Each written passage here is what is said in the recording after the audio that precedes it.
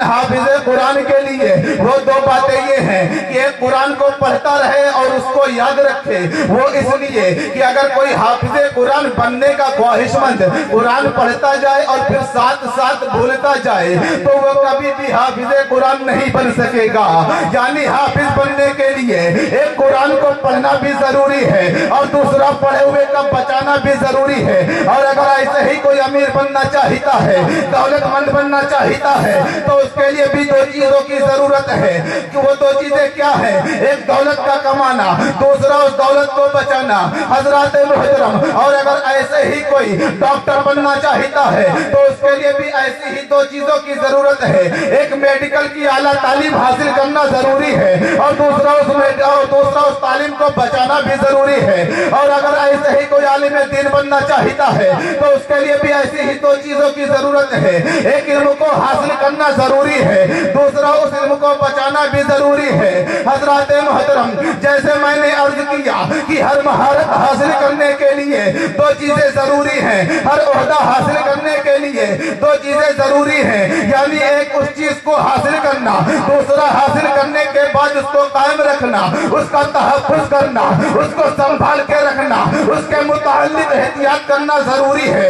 इसी तरह नमाज़ का हुक्म हो रहा है। वाकई मुस्तला, नमाज़ कायम करो। हजरात मुहतरम नमाज़ के लिए भी दो चीज़ें ज़रूरी हैं। एक उसको पढ़ना रखना यानी पढ़ी हुई नमाज़ को बचाना और अगर कोई बंदा नमाज़ तो पढ़ता है, लेकिन बचाता नहीं है, और अगर कोई बंदा नमाज़ तो पढ़ता है, लेकिन बचाता नहीं है तो फिर उसका तो ये हाल है कि नमाज़ पढ़ता गया, गवाता गया, नमाज़ पढ़ता गया, लुटाता गया, नमाज़ पढ़ता गया, मिटाता गया। सवाल ये पैदा होता है कि भाई, क्या नमाजें भी बर्बाद हो सकती है? क्या इबादतें भी बर्बाद हो सकती है? क्या कयाम भी बर्बाद हो सकते हैं? क्या सत्य भी बर्बाद हो सकते हैं। क्या रुकू भी बर्बाद हो सकते हैं? क्या तस्बी भी बर्बाद हो सकते हैं? अभी हम इसी हो सकता हो सकता की बातें कर रहे थे कि किसी ने कहा अशरफ, तुम नहीं जानते, इबादतें बर्बाद हो सकती, नमाजें बर्बाद हो सकती, कयाम बर्बाद हो सकते, तिलावत बर्बाद हो सकते तस्बी बर्बाद हो सकते हैं। अरे वो कैसे? तो जवाब आया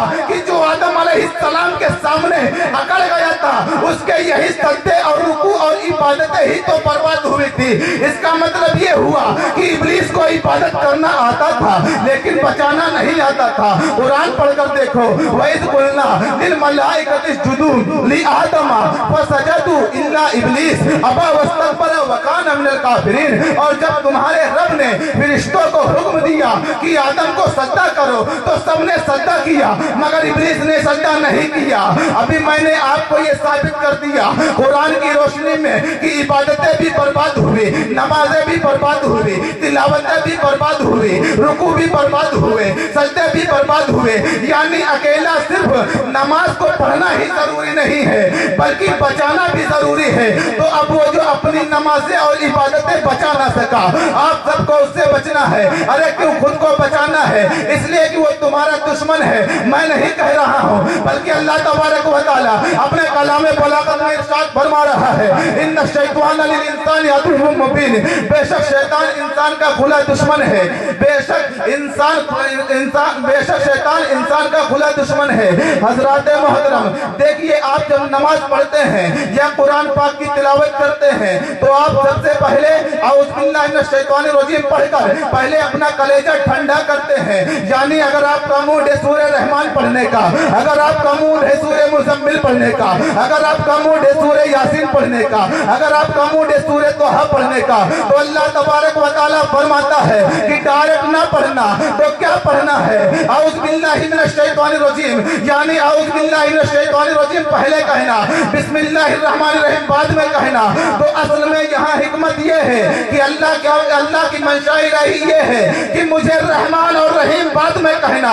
पहले तुम मेरे दुश्मन की मजम्मत करो। पहले शैतान का कहो मरदूद, ताकि बाद में कामिल हो जाए दुरूद। इसलिए हम जब भी कुरान पढ़े तो हुक्म हो रहा है बिल्ला, पहले बिस्मिल्लाह बाद में आयतुल्लाह उसके बाद में। हर जगह पूरा सिस्टम ही यही है।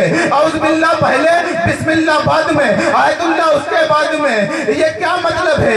इसमें क्या हिकमत है? अरे भाई, हिकमत ये है कि दुश्मन खुदा से जिस कदर तुम्हें नफरत होगी, दुश्मन खुदा से जिस कदर तुम्हें नफरत होगी, मोहब्बत बंदी उतनी ही मोतबर होगी। और आपको एक नुकता दे रहा हूँ समाज करिएगा गौर से सुनिएगा। दुश्मन खुदा से जिस कदर तुम्हें नफरत होगी मोहब्बत खुदा बंदी उतनी ही मोतबर होगी। और इसी तरह दुश्मन रसूल से जिस कदर तुम्हें नफरत होगी मोहब्बत रसूल सल्लल्लाहु अलैहि वसल्लम इतनी ही मोतबर होगी। पढ़िए गुरुदेव पाक अल्लाहुम्मा सल्ली अला सल्लल्लाहु अलैहि वसल्लम। सैयदना व शफीअना